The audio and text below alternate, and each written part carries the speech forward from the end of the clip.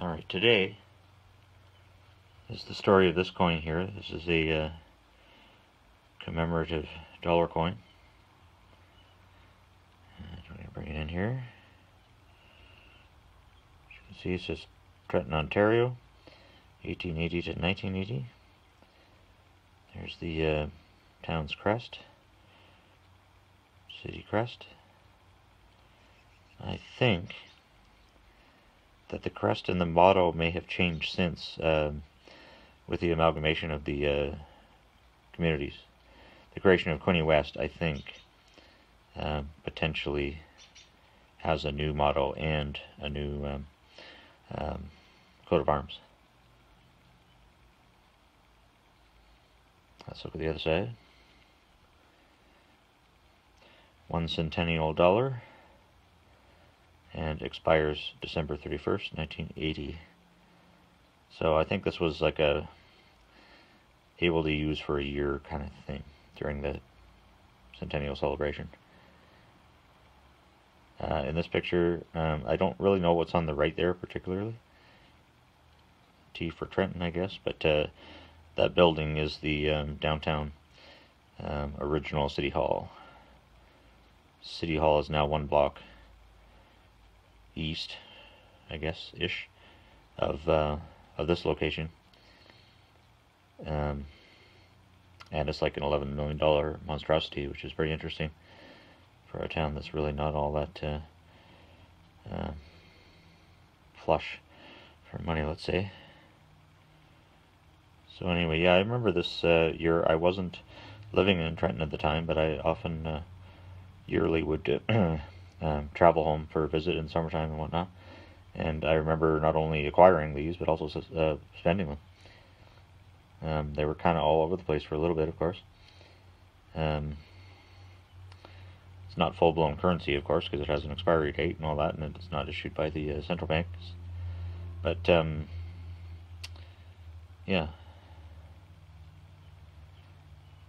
Did a quick search on uh, Wikipedia about this coin, and just a, like a uh, don't know a coin evaluating website, I guess it was. And according to them, um, there was 25,000 of these made, uh, which is quite a bit because I don't think the population of Trenton at the time uh, was that. Uh, I'm not.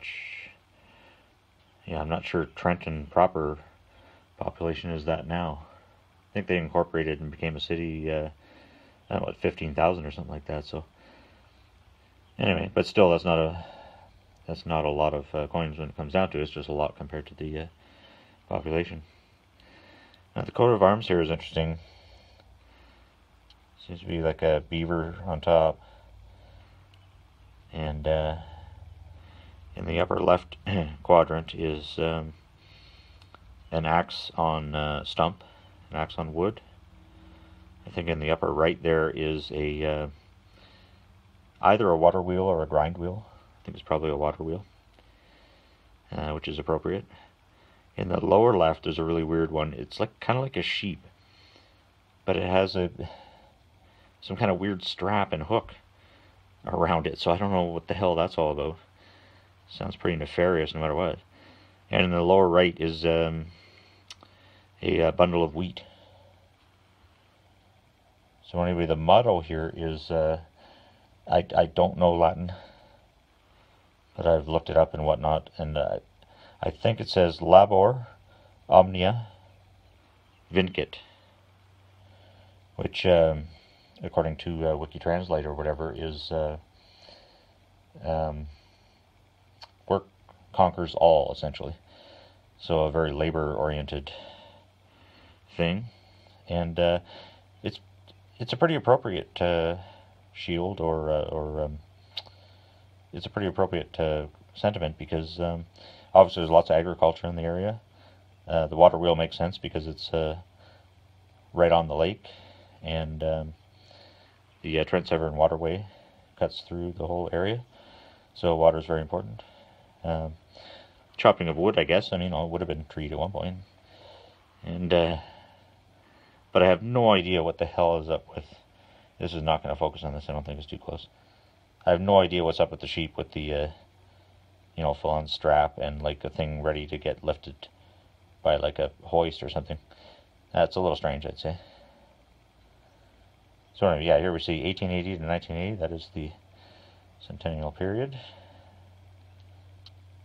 And uh, yeah, so I found this in the stuff that came from the house, and I knew I had one somewhere, um, or I knew I would find this again at some point. But uh, yeah.